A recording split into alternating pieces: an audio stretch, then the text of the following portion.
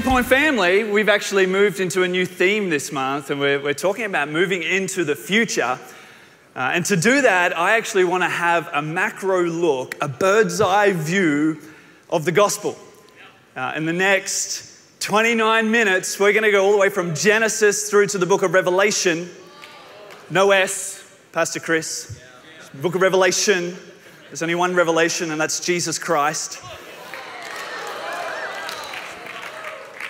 I wasn't throwing shade there, I was just, if I feisty tonight, I like this crowd. But we're, we're going to have a bird's eye view because I believe the way you view the, the gospel in your life, where you position yourself in relation to the gospel in your life, will determine a great deal of how you move into the future. How you view the gospel and how it plays in your life and the power of the gospel in your life will determine a lot of how you move into the future, not only just in your everyday to day, but in your marriage, in your family, in your career, in your study, in your life, in your health, in every single facet of the way in which you go about life, how you view the gospel is going to determine the quality of how you move into the future. To do this, I want to start in the Gospel of John in the 11th chapter and the 35th verse.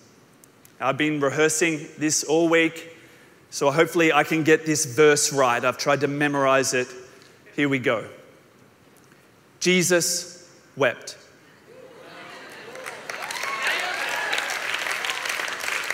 Thank you. I even learnt it in the amplified version. Jesus wept. I love this verse because even though it is the shortest verse in the Bible, it doesn't take much memorizing. It actually has massive theological implications not only to the humanity of Jesus but also to his deity. Because this verse actually takes place in the midst of the story of Lazarus, his friend. He died. And Jesus was on the way to get Lazarus and to actually raise him from the dead. He knew that actually Lazarus was, was going to live again. But even though he knew Lazarus would live again, even though he knew the story would end out well, the tragedy, the death, and the suffering that Lazarus was momentarily experiencing did two things to Jesus. It moved him to tears and it moved him to action. Right here, I think we get a great glimpse into the heart of God, into the gospel.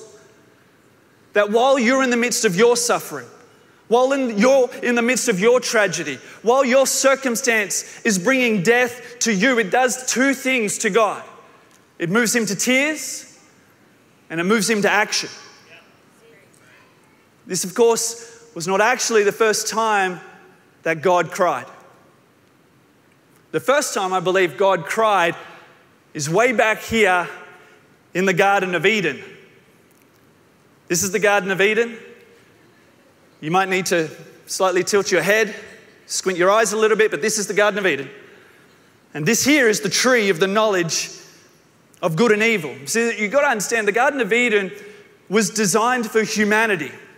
It's the natural environment of humanity.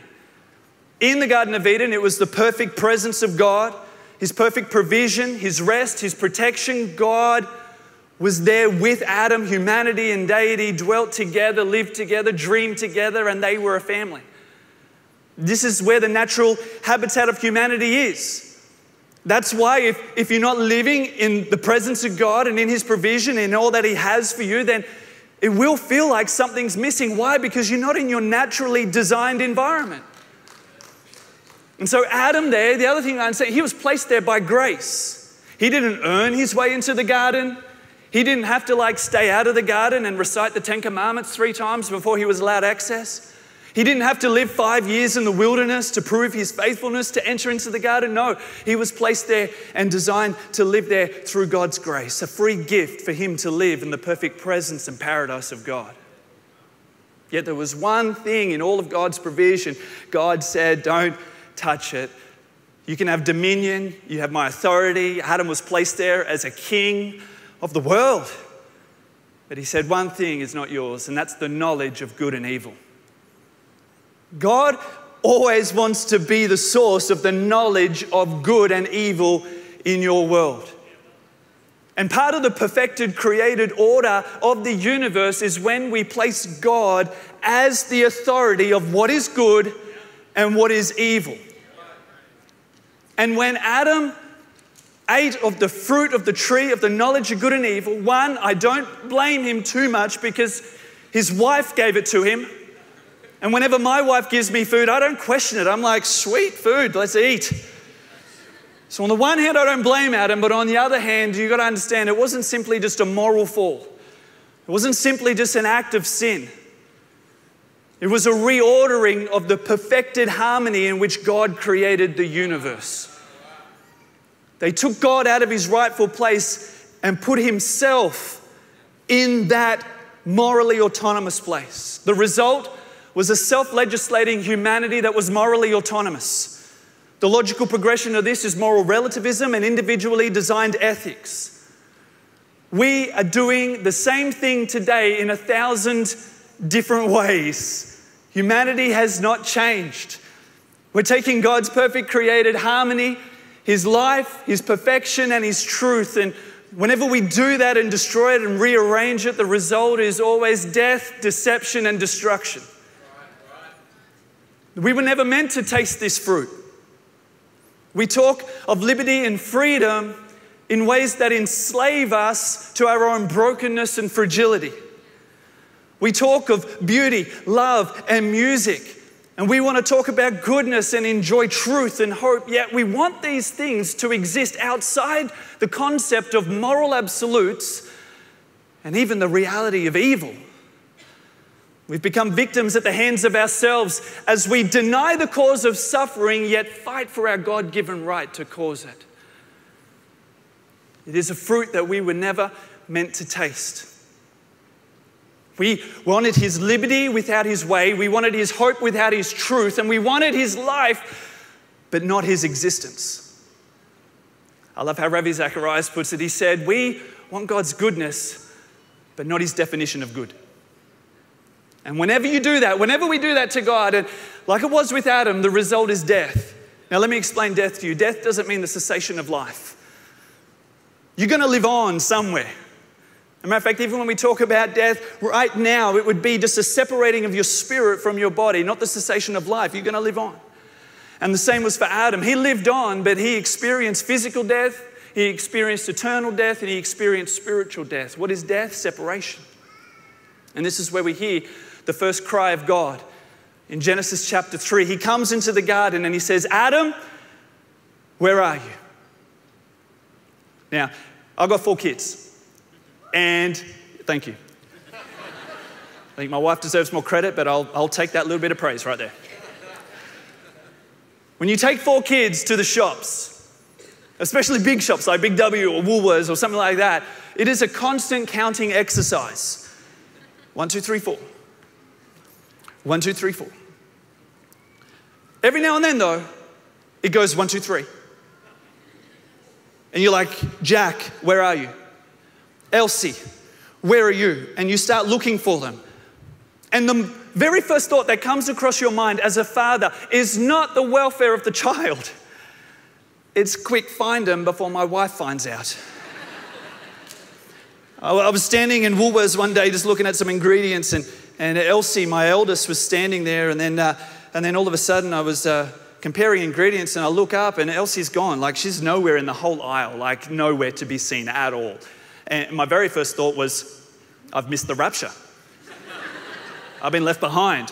And then I thought, no, wait, I need to find her before Bonnie finds out. And so I start looking for her. She's not in this aisle, she's not in the aisle next to me, she's not in that aisle. I start frantically looking around, and as I'm at the bottom of an aisle, I see in the distance a good, kind, caring lady leading her by the hand to the front counter. This is code red. Because if that good, kind lady gets to the counter, the only thing that's going to be communicated across that microphone is Bonnie, Joshua has lost your child. Bonnie, Joshua has lost your child in aisle six. I do not want that announcement to go out. One day, while we're confessing sins, I mean, we're in church, I was at soccer training with my four year old, Jack, who played four. Now, soccer, when they're four, is a fairly loose term. It's not so much of a game. They kind of turn up and do like individually designed skill sort of sets and they rotate and they, they change sets. And, And, and, you know, it's extremely riveting stuff. And I'm sure all of you would have paid attention the entire time, but I may have got my phone out and started checking social media to see what was, you know, happening in between these skill sets. And, and I look up and I can't see Jack. He's gone. Now, that's not at first anything strange because Jack, if you know my son, he's kind of just, you know, organizes his own world. And if it's not kind of suiting him, he'll just take initiative and go change us. He might like just go to the next skill set that he wants to do. But I look at the next skill set, he's not there either. Uh, I look at the next one, he's not there. And I start now starting to get a little bit, bit worried. I start standing up and I'm looking for him. Now, they're all dressed the same, and it's not just one soccer team, it's like this, this like 44 year olds, not, not 44 year olds, that'd be weird. 44 year olds playing soccer, and like as soon as you put like a jersey and some socks on a four year old, you can't see any skin. It's just you can just see a big haze of orange. Bit hard to see where your son is. I'm looking, I'm pacing up and down, I cannot see him. I start going out to the field, I still can't see him. It's now two to three minutes, although if Bonnie asks, one to two minutes. And I'm starting to walk to the car park. I'm starting to really actually get quite panicked because I have been separated from my son. I can't see him anywhere. And as two minutes turns into three minutes, turns into four minutes, I am like this close to starting to yell at the top of my lungs Jack, where are you? And just as I'm about to yell at the top of my lungs, I hear this cry coming from the toilets. And luckily and fortunately, what had happened is Jack just needed to go to the toilet. So he went in, and it's a push door to get in. So he was able to get in fine, but it was a pull door to get out, and it was too heavy for him. So he got stuck in there for only, only a few moments. and so he couldn't get out. So I found my son. But, it, but if you just back up just, just a, a couple of moments before I found him, I, I want you to understand it, when I was about to say, Jack, where are you? It wasn't going to be a quiet yell. I had been separated from my son. I was about to yell, Jack, where are you? That there? I believe that's the context of what we read the first cry of God. It's the cry of a father who's been separated from his son. God isn't turning up into the Garden of Eden and he's not saying, Adam, Adam, where are you? As if it's some sort of cosmic hide and seek. I mean, the guy's omniscient, he knew where Adam was. It was the cry of a father Adam, where are you? We were so close. We were intimately joined together. Our spirits were intertwined with one another. Our lives were together. Our hopes and our dreams were shared. We were family. We were father and son. I turned to you, and you were no longer there. You had gone. I'd felt you. I knew what your heartbeat felt like, but you're no longer there. You've been separated from me. Your life has been separated from me. Your existence has been separated from me. Adam, where are you? That it's the first cry of God. And it comes from the Father. And it echoes out of the Garden of Eden all the way through time, even into our temporary context where the cry of the Father is still to those who don't know Him Where are you? I'm looking for you. I want you in my presence. See, in our human understanding, especially if we got any sort of religious upbringing, it is fairly conventional and normalized to think that actually the goal of humanity is to reach up and to attain some sort of notionality that we are worthy to be in God's presence. The scandal of the gospel that it's completely the other way around. That God desires to be in your presence. He has many names. But I believe that actually his favorite name is Emmanuel. The one that he loves to go with is God with us. And we see it right here in the Garden of Eden. The fruit of this tree is something that humanity was never meant to taste, and it was the first time that shame entered into the body. They started making fig leaves for themselves. It was the first time that Adam tasted loneliness. It was the first time humanity tasted sickness and disease. It was the first time humanity ever tasted suffering. There was another tree in that garden. It was the tree of life. And God said, I don't want you to eat of the tree of life in this current state. I'm going to need to fix this before you eat of that tree again. And so he takes that tree out of the Garden of Eden and he places it all the way here in heaven. This is the tree of life. It's like a clapper. The tree of life also has fruit that we can taste. The first fruit that we know of the tree of life is obviously it's eternal. It will give you eternal life. What came through the first tree was death, but what comes through the tree of life is actually eternal life. But there's also another fruit that we know of, and that it's actually righteousness. That when we eat of the tree of life, that actually we actually inherit righteousness. In Revelation chapter 2, verse 7, Jesus speaking to the churches, he says, To him who has ears, let him hear. What the Spirit is saying to the churches if those who overcome and victor- or victorious, and we are, if you're in Christ Jesus, you're an overcomer and you are victorious, I will grant you the ability to eat of the tree of life, to eat and be called righteous again. But not only that, the tree of life also has fruit of hope and goodness and joy, abundant joy, happiness. Not only that, the leaves of the tree of life are actually used to heal the nations. It is a tree that brings wholeness and healing and restoration. The tree of the knowledge of good and evil brought death and destruction and deception, yet the tree of life, it brings healing and wholeness and restoration. The tree of the knowledge of good and evil separated us from God, but there is a cry from Holy Spirit saying, I am going to grant you to eat of this tree. There's also another cry that comes from Holy Spirit, and we see it in Galatians chapter 4, verse 6. It says, To him who are being called the children of God, Abba Father, uh, sorry, the Holy Spirit is in our, in our, in our spirit and it's crying out within us and beckoning us to call God Father again. Remember this part? This is where humanity and deity were separate, where a father lost his son. Well, in the tree of life, we discover that actually Holy Spirit in Galatians 4, verse 6, invites us to call God Father again. It's the complete reversal. Romans 8 has another way of putting it in verses 14 to 17. And we'll read this. In the message version, it says this God's Spirit beckons. There are things to do and places to go. This resurrection life you receive from God is not a timid, grave tending life, it's adventurously expectant. Greeting God with a childlike, What's next, Papa? God's Spirit touches our spirits and confirms who we really are.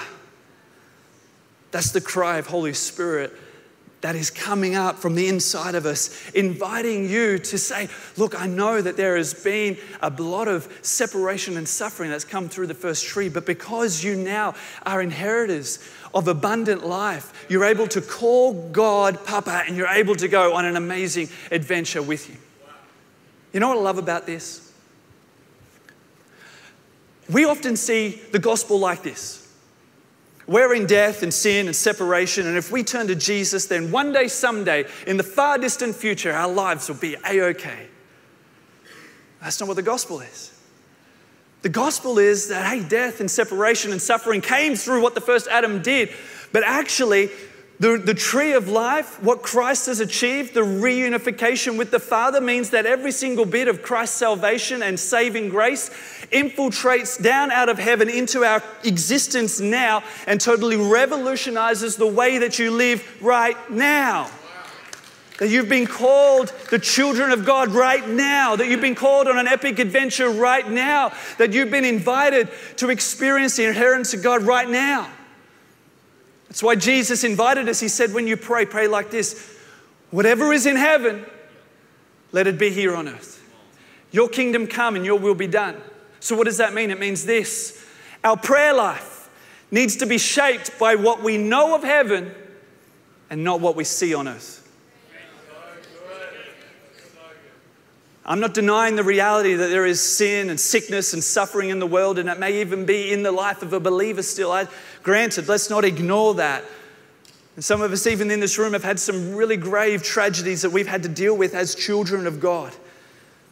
Yet it doesn't negate the fact that Holy Spirit beckons us and Jesus invites us and instructs us to make sure that the way in which we walk out our faith is more influenced by what we know of heaven than what we see around us in our everyday today.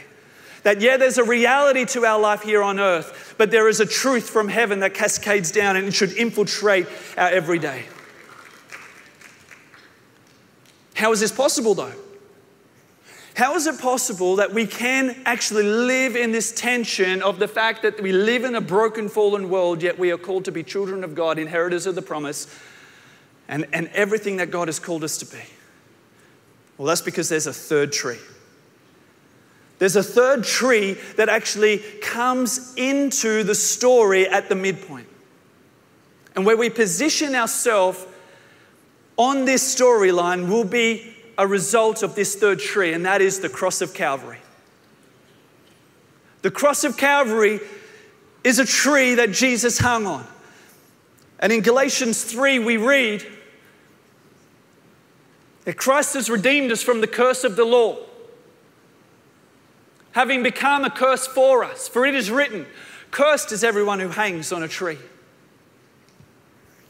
The reason this tree comes into the story is for this reason. There is a cry from Jesus as well. There's a cry from the Father that says, Adam, where are you? Humanity, where are you? I want to hold you in my family again and live in my presence. I want to be in your presence, is the cry of the Father. There's a cry from Holy Spirit saying that, hey, you have been given an awesome inheritance. And even the, the writer of John says, Behold, what manner of love is this that we would be called children of God. The reason we can get from there to here is because of this the third tree and the cry from Jesus. The cry from Jesus is this as he hung on that cross, taking the whole curse for us, taking all our sickness, taking all our, our sin and our disease and our brokenness. He hurled out a cry which still impacts us today. And he says this He says, It is finished. It's finished. It's over. It's done. Anything that came through that first tree it's done, it's done away with, it's finished. So that we can focus on everything that God has for us. And where you view yourself in this story will impact how you move into the future. Let me give you some really practical examples of that. Isaiah 53 was written before the cross, and so it says that by his stripes, speaking to the cross, we are healed. But you get over into 1 Peter 2:24, which was written after the cross, looking back at the cross, it says by his stripes we were healed, past tense. So how you move into the future with your healing will be determined where you view yourself on this gospel story. Am I trying to attain the healing of God? Am I trying to earn the healing of God? Am I begging for the healing of God? Or am I just actually standing in the inheritance that I've been given, that I've been beckoned to by Holy Spirit? A healing is mine. The first time we see the concept of rest, which is, if I could sum up rest, it's the perfect provision, protection, and presence of God. The first time we see that is in the Garden of Eden. That's where we're first introduced to that topic. And we actually see the Israelites trying to attain rest by entering into the promised land, but they can't and they fail because of lack of, lack of obedience and a lack of faith. So God had to come up with a new way of attaining the rest that He designed humanity to live in. And so before the cross, Israelites were not able to enter into God's rest, but we get over into Hebrews 4 and it says, We, the church, those who believe in Christ Jesus, have entered his rest. We've already done it. We've entered into the rest of God. We've entered into his presence. We've entered into his perfect provision. We've entered into his protection. That's our reality. That's how we live. But if we are positioning ourselves down here and not attaining the great and precious promises that have already been delivered to us, then we may not be able to move into the future with the full fruition of everything that has been achieved on this third tree. Abraham, he was in the Old Testament. God said to him, I'm going to bless you. I'm going to bless you so bad it's going to make your head spin. Matter of fact, the blessing from you is going to overflow out of your life into every single generation, and every single tribe and nation on earth is really going to get blessed through you. And then in Hebrews chapter 11, it says, Abraham died not actually achieving the promise. That's before the cross. Uh, we get after the cross and in Galatians 3:29 it says that if you are in Christ then you are actually the seed of Christ and you are blessed and, and, and actually have received the blessing of Abraham. Everything that was promised to Abraham has actually come through you because of Christ Jesus, but we need to position ourselves here, not down there. So, what does this look like? So what? It's a nice environment to talk about it tonight, but at work tomorrow, what does that mean? School tomorrow, what does that mean? Well, let me ask you some questions. If you knew you stood in full victory, in the full promise of God, the presence of God, the protection of God as one of His children, what dreams would you let come alive in your heart again? And Monday morning, when you wake up and we're not in a great worship environment, the presence of God, in a faith community, you're by yourself. If you positioned yourself here, this aspect of the gospel moving into the future, what would your prayer life sound like now? Would you be positioning yourself down here asking that God bless you, or will you have a prayer life that says, I walk in the full authority of Jesus Christ and the power of Holy Spirit, and I command heaven come into my situation right now? It's how you position yourself. What would your worship sound like? If you knew that anything that came through Adam has been destroyed by Jesus Christ. I know this is an epic tale, and you know, it's taken us a while to get here, but I actually could have done it with one verse. Soz about that. Could have saved us all some time. We could be at Nando's right now. It's Romans 5:17. It's my favorite verse in the Bible. And it sums it up like this. It tells the story of the three trees in one verse. It says, For if by one man's offense death reigned through the one, much more those who receive the abundance of grace and the gift of righteousness will reign in the one, Jesus Christ. For if by one man's offense death reigned, much more those who receive the abundance of grace and the gift of righteousness are going to reign in the one, Jesus Christ. It's the gospel of much more. It's the gospel of much more healing. Let me put it to you this way. Whatever sickness came through Adam, much more healing came through the one, Jesus Christ. Whatever death came through Adam, much more life came through the one, Jesus Christ. Whatever brokenness came through Adam, much more restoration comes through the one, Jesus Christ. Whatever deception, whatever suffering, whatever disease, whatever plagues you, whatever has put you in slavery, much more freedom, much more liberty, much more grace, much more love has come through the one, Jesus Christ. And if you're going to live and move into the future with a much more gospel,